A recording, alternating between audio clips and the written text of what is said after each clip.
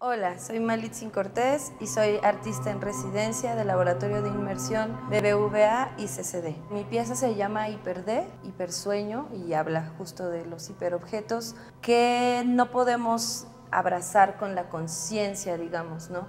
Como por decir la información, el cambio climático, son hiperobjetos porque son conceptos muy vastos y que son completamente reales escalables, pero son tan grandes que es muy difícil que los podamos eh, dimensionar, digamos que en una realidad inmediata. Nos traspasan todos los días, pero no, no podemos como entender su real dimensión, ¿no? O sea, se vale de los soportes inmersivos. En este caso, pues yo estoy utilizando realidad virtual para poder hacer una ficción absoluta, porque en la realidad virtual, pues los objetos no son como, como son en la realidad, pero sí nos permiten sentirnos como confinados por ellos, digamos.